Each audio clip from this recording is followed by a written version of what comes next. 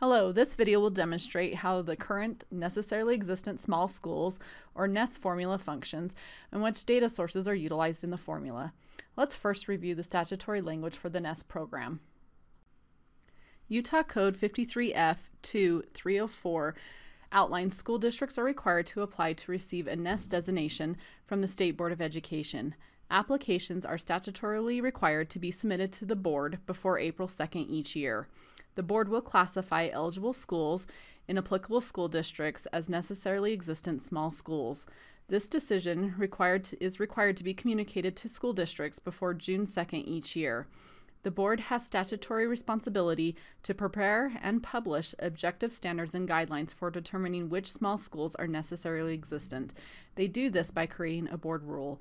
Let's look in Board Rule 277 445. In Board Rule R277445, it outlines the eligibility requirements for NESS schools. The first eligibility requirement to be classified as a NESS school is the school's ADM, average daily membership. Regression formulas were established that out outline the maximum sizes for funding under the NESS program.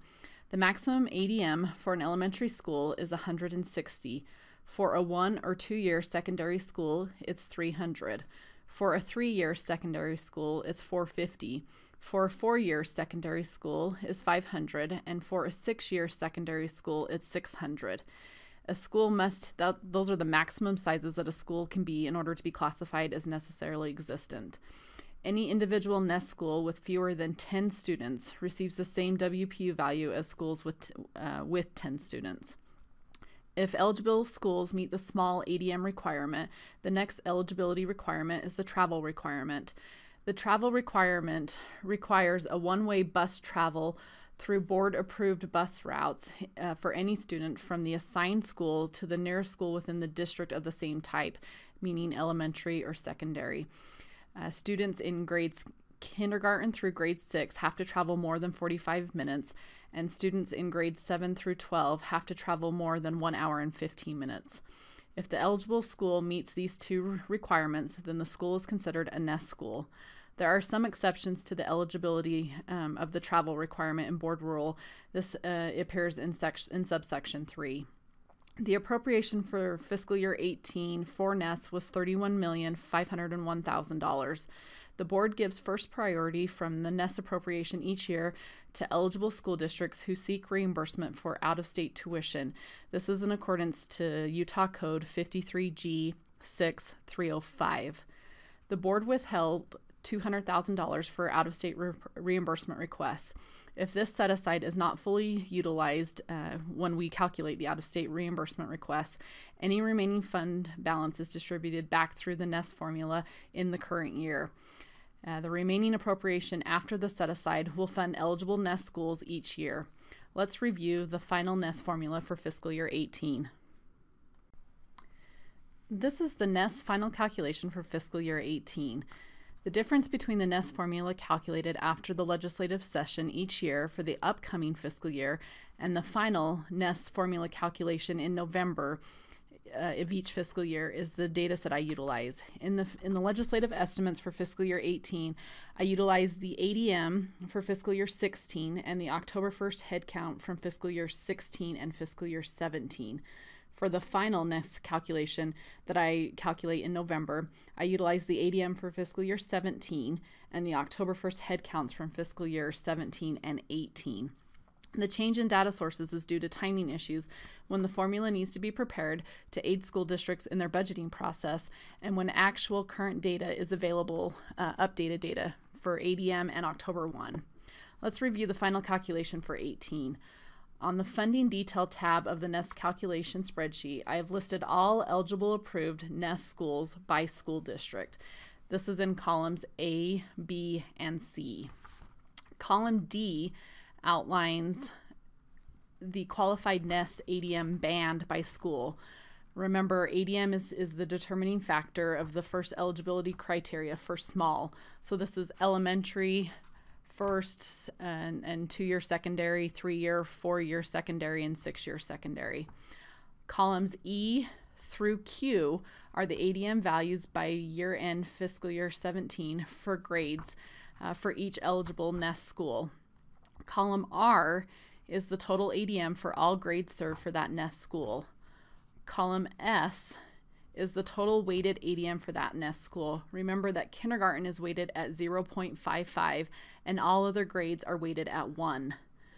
Columns T and U are the growth are the October 1st headcounts for fiscal year 17 and 18 for that NESS school. Column V is the growth percent change in enrollment based on the current year and prior year October 1st head count.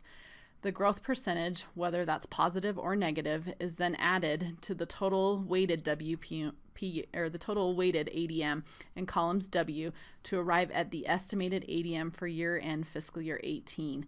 This process is very similar to the regular WPU calculation. Column X represents the NESS WPU value. To get the NESS WPU value, we have to use the NESS type from column D. So this um, for Minersville Elementary, we'll use this as an example.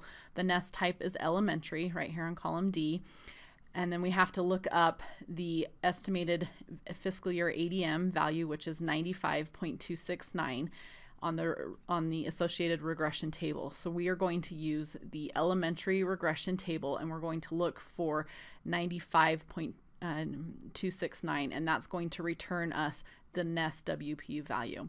So we, if we click on the elementary table, we're going to scroll down on this ADM on column AT till we find 95. When we find 95 here, it's going to return the NESS value of 45.840. If we return back to the funding details page, you can see that uh, in a simple VLOOKUP formula, we look up that value on the elementary table, regression table, it returns 45.840.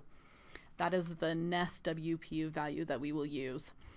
Uh, these regression tables um, were developed several years ago. It is my understanding that the regression tables were developed to represent costs submitted by NESS schools. However, the Utah State Board of Education is unable to replicate those regression tables, so they have remained at a somewhat constant level from when they were developed. Column Y is the total NESS funds per eligible school, which is calculated by taking the NESS WPUs in column X and multiplying them by the current WPU value for that fiscal year. For fiscal year 18, the WPU value was $3,311. That means that Minersville Elementary is going to receive $151,775.01 in NESS funds.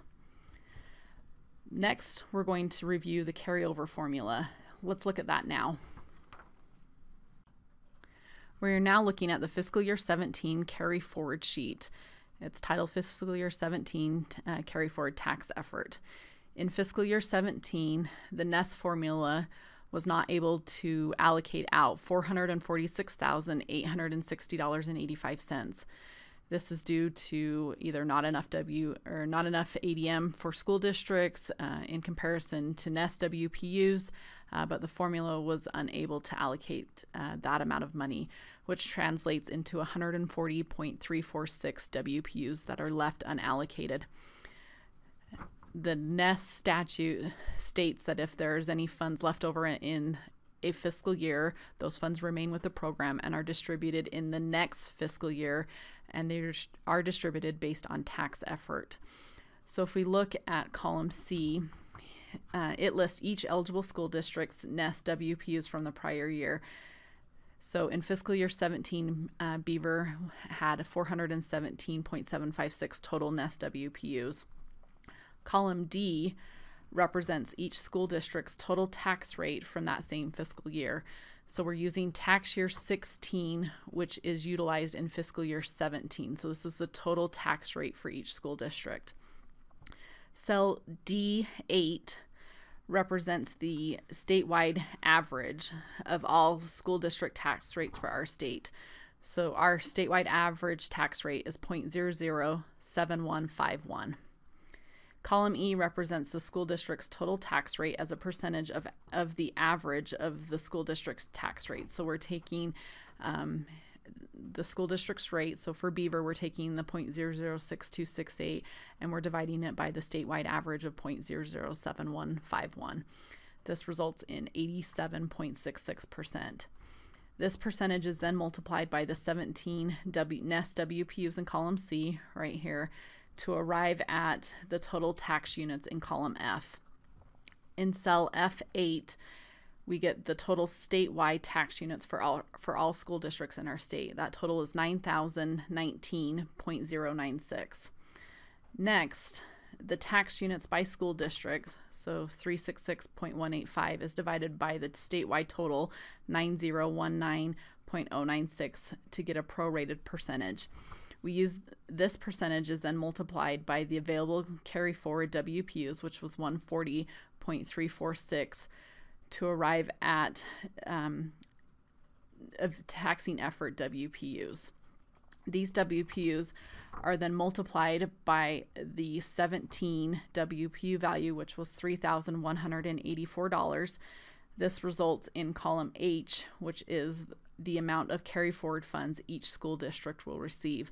So in fiscal year 18, Beaver received $18,143.05 from the available carry forward funds from fiscal year 17. And that total again was $446,860.85. We prepare this carry forward sheet each year, um, any fiscal year that, that has any remaining balance left.